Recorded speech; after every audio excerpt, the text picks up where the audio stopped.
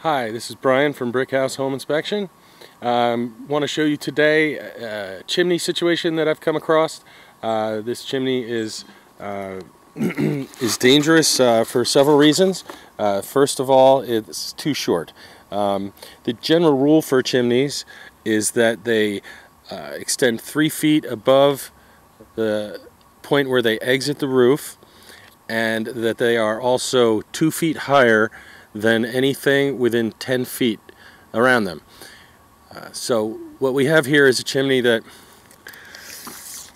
if we measure it extends approximately 16 inches or so above the point where it exits the roof and if we come around the other side um, we have the peak of the roof right here that would be the nearest point within 10 feet or a point within 10, the highest point within 10 feet and it's still uh, possibly only 12 inches above that point.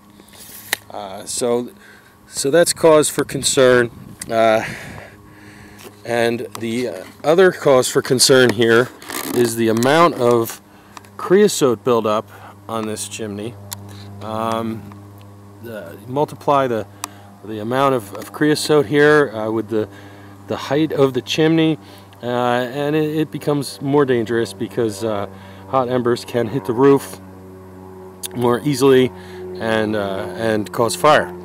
Uh, another point I'd like to make about uh, creosote is that there's really two forms of creosote. There's a, a light and fluffy type uh, of creosote and there's a black shiny glazed looking type of creosote.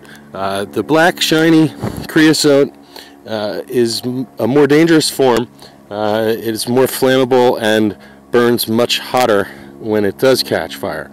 So uh, keep your chimneys clean and check the height. Uh, that's it for today. Thanks a lot. See you soon.